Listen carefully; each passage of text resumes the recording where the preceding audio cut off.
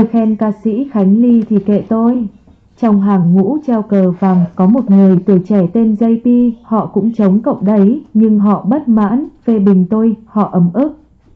Lên án tôi vì tôi đã khen Khánh Ly bằng một tiếng cảm ơn cô Khánh Ly. Họ còn chụp mũ thẳng tay cô Huỳnh Thục Vi và anh Lê Trí Thành là những tù nhân lương tháng.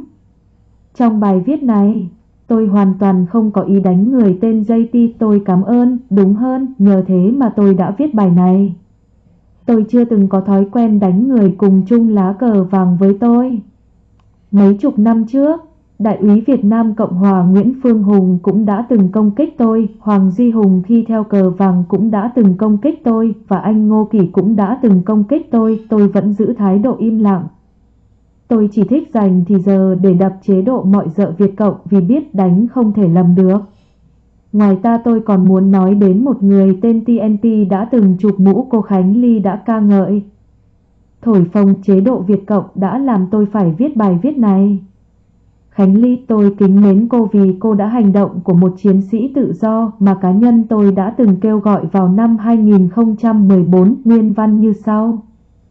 Chục năm trước đây, tôi có viết bài khuyến khích các ca sĩ, nghệ sĩ ở hải ngoại về Việt Nam trình diễn nhưng phải mang theo phong cách của một chiến sĩ tự do. Có nghĩa là về nước nhưng không quỵ lị cộng sản, không khúm núm, thấy bất công là phải đấu tranh, phải lên tiếng.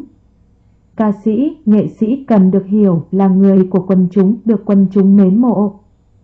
Trong tất cả những cuộc đấu tranh, muốn mau chóng gặt hái thành công, phải cần có sự xuất hiện của những ca sĩ và nghệ sĩ đứng vào phía hàng ngũ của cuộc đấu tranh để có thể vận động. Thu hút sự quan tâm đông đảo của quần chúng, đồng bào.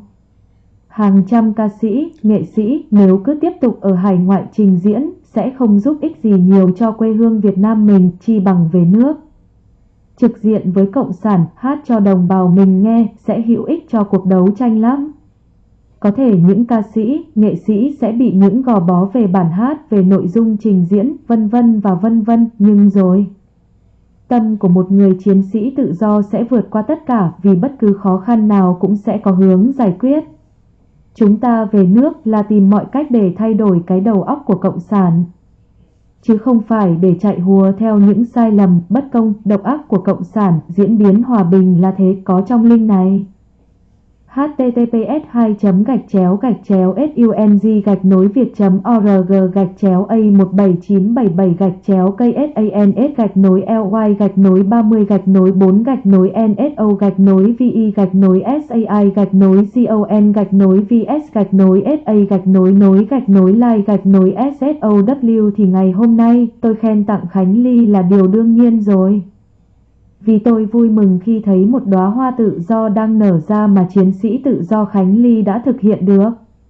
Hoa tự do chính là bài ca Gia tài của mẹ do nhạc sĩ Trịnh Công Sơn sáng tác. Dù là đứng dưới gọng kềm của chế độ mọi dợ Việt Cộng, dù biết chế độ Việt Cộng có thể nhốt cô vào tù bất cứ lúc nào, nhưng cô Khánh Ly vẫn hát và rất sung sướng mà hát. Hát để thể hiện lập trường của một chiến sĩ tự do, mình thích hát bài hát nào là quyền của mình. Tôi buồn cười và khinh bỉ cho thái độ chạy lăng xăng của chế độ mọi dợ Việt Cộng. Đồng chí Việt Cộng của chúng choảng nhau đổ thừa ban tổ chức dân chúng đổ thừa bọn mọi dợ nằm trong Bộ Văn hóa Thông tin và Du lịch. Khôi hài nhất bài hát cách đây 57 năm mà còn kiểm duyệt. Khôi hài hơn thế nữa khi bọn mọi dợ đã và đang vinh danh anh Trịnh Công Sơn bằng cách đúc tượng ở bờ biển Quy Nhơn, phố đi bộ ở quận Hồ Tây, Hà Nội, con đường ở Huế mang tên người nhạc sĩ tài hoa này đúng theo ý tôi. Mới đây chế độ Việt Cộng còn tuyên truyền hai bộ phim Em và Trịnh và Trịnh Công Sơn cũng là một sự cầm nhầm. Tôi biết rất rõ anh Trịnh Công Sơn, vì tôi đã từng nghe bác ca sĩ Quốc Hương nổi tiếng lắm với bài ca tiểu đoàn 307.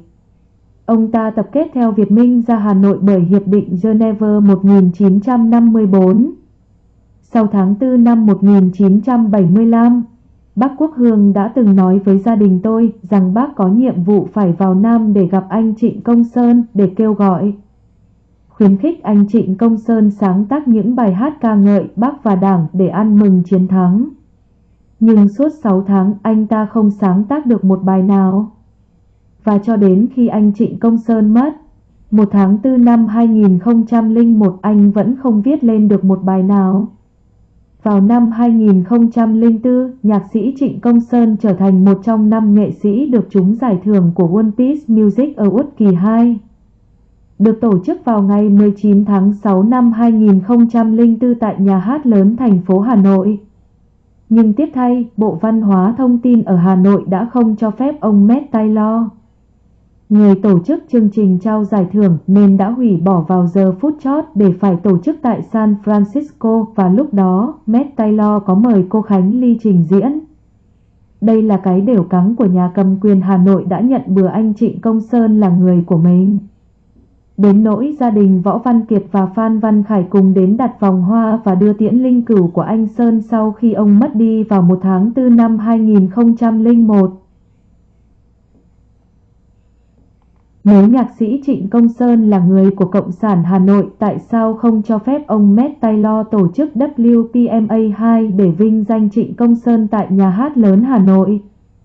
Tôi không nghĩ chế độ Việt Cộng hủy bỏ sâu ca nhạc One Piece Music Award kỳ 2 vì bài viết cảnh báo của tôi với tựa đề chế độ Việt Cộng cầm nhầm nhạc sĩ Trịnh Công Sơn là người của mình mà vì họ biết rất rõ về người chiến sĩ tự do Khánh Ly thì đúng hơn. Trước khi qua đời, anh Trịnh Công Sơn đã để lại hai bài viết nhức nhối cho chế độ Việt Cộng mà cô Khánh Ly đã hay hát. Tiếng thoái lưỡng nan và tôi ơi đừng tuyệt vọng, tôi cũng có nói rõ trong link https 2 gạch chéo gạch chéo sung gạch nối việt org gạch chéo a 17977 gạch chéo ksans gạch nối ly gạch nối 30 gạch nối 4 gạch nối nso gạch nối vi gạch nối sai gạch nối con gạch nối vs gạch nối sa gạch nối nối gạch nối lai gạch nối ssow quả thật cô Khánh Ly và anh Trịnh Công Sơn như bóng với hình. Trước khi biết mình sắp sửa qua đời vì đã 76 tuổi rồi, ở sâu diễn tại Đà Lạt, Lâm Đồng, chiến sĩ tự do Khánh Ly đã hát như sau, ví dụ Bây giờ tôi phải đi thì hãy xem như một lời từ biệt đã làm cho tôi xúc động muốn rơi lệ. https 2 gạch chéo gạch chéo youtu be gạch chéo 2 p 37 cevdilm đóng ngoặc đơn. Cô Khánh Ly cũng mong muốn đạt được ước nguyện của mình. Tự do hát những bài hát mà mình thích. Đơn giản như sự mong ước của toàn dân Việt Nam về những quyền tự do cơ bản của con người Việt Nam phải được tôn trọng khi chế độ mọi dợ Việt Cộng ký tên gia nhập vào Liên Hiệp Quốc nhưng chưa từng bao giờ chế độ Việt Cộng độc tài, độc ác này tôn trọng bản tuyên ngôn quốc tế nhân quyền của Liên Hiệp Quốc. Tôi thích và khen clip của anh Trương Quốc Huy nhân vụ cô Khánh Ly quậy chế độ Việt Cộng qua bản gia tài của mẹ của nhạc sĩ Trịnh Công Sơn cũng đã lên tiếng https 2 gạch chéo gạch chéo youtu be gạch chéo ly 5 ssliuvla tố cáo phơi trần bộ mặt gian xảo, nhỏ mọn và vi phạm nhân quyền của chế độ Việt Cộng và tôi cũng cảm ơn hàng trăm clip khác và hàng ngàn bài viết đã lên tiếng về chế độ Việt Cộng man dợ.